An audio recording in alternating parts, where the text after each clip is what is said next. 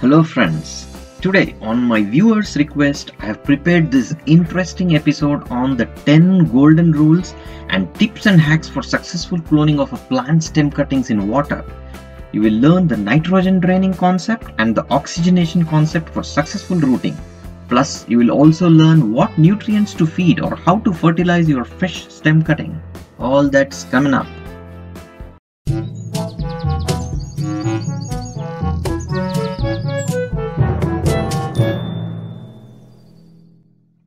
If you're interested in gardening, please subscribe with the bell icon clicked to receive notifications on my new uploads. This method of cloning plant cuttings in water is an age-old practice. If you want to increase the success rate of growing plants in water or rooting your cuttings in water, you need to follow certain simple tips.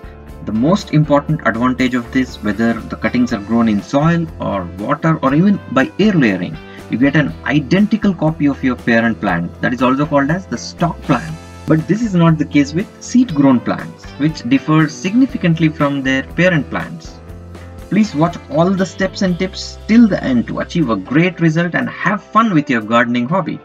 Also some scientific concepts, especially tip number 4 and tip number 8 like the nitrogen draining concept and the oxygenation concept may be completely new and really interesting to most of us. Also, some of these tips are common when you are propagating cuttings in soil. With these simple tips and scientific concepts, you can achieve a great success rate of nearly 100%. Tip number one is taking healthy cuttings. Yes, this is the first and foremost job which is most important to achieve a good success rate. Take a cutting from a healthy mother plant which is free of pest and free of disease and has good active growing branches. Choose semi-woody cuttings, not hard woody or too soft ones which can easily rot. Then tip number two is making a sharp cut at 45 degree angle. A sharp cut with a sharp cutting tool or a blade is an important factor for success. Preferably sterilize the cutter with some disinfectant like uh, hydrogen peroxide or even any household antiseptic like Dettol. Cut about half an inch below a node this is the area where rooting starts and which has to be inserted into water or your rooting solution. Then tip number 3 is on the length of the cuttings. This is generally 6 to 10 inches or at least 2 or 3 nodes above the rooting node. The length depends on the internode distance of a branch. Remember one rule of thumb. The success rate of cloning is inversely proportional to the internode distance. That means the lesser the internode distance, the greater the chances of success. Then tip number 4 is draining out nitrogen from a branch. As you all know, nitrogen slows down rooting process. Pouring a lot of water on the plant or the branch which is to be cut is believed to drain out nitrogen. Do this and then take your cuttings from the plant. I don't know how this happens but if you know about the concept please let us know in the comment box below the video. Then tip number 5 is do not fertilize your parent plant. Applying the same concept of nitrogen drain out, better not to feed the plant at least 15 days prior to taking your cuttings. Then tip number 6 is important, preparing the rooting solution. You can just use plain clean soft water. Better avoid salty water or chlorinated water to increase your chances of success. The second option is to add some ingredients into this water which serve two functions. Firstly, they prevent contamination and rot, and secondly, helps accelerate the actual rooting process. This can be accomplished with many options like the rooting hormone powder containing the indole butyric acid or the naphthalene acetic acid.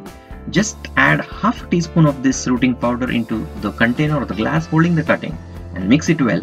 Add this every time you change the water till the rooting starts. Then second option is you can add, add water or a half a tablet of aspirin or willow water. Aspirin, which is chemically acetyl salicylic acid, serves both functions, including rooting. You can watch my detailed video on this aspirin from a link at top right corner of this video. Then third option is you can use fresh aloe vera gel extracted from aloe leaf, which also uh, contains salicylic acid and other ingredients which help prevent rot and even accelerate rooting. Then tip number seven is use clean containers and change water or your rooting solution every two to three days. Take clean containers, preferably transparent ones, so that you can actually see through the uh, root development process. Then tip number 8 is oxygenating the tissues. Yes, this is another important tip for successful rooting.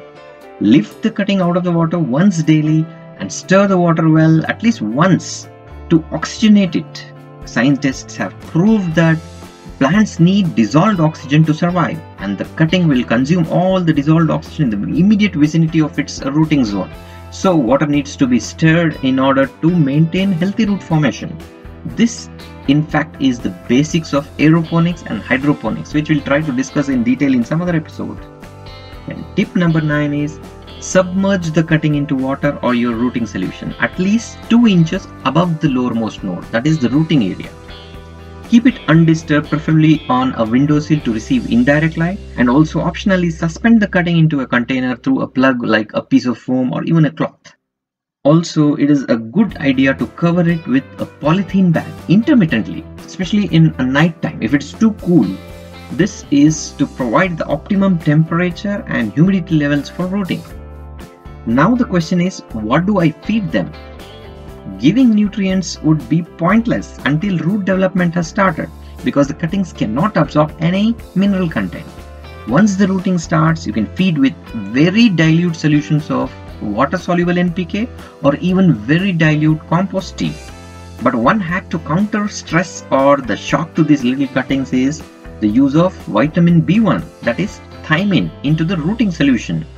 This is thought to help alleviate any stress like how we use Epsom salt solution to water the plants uh, to counter the transplant shock.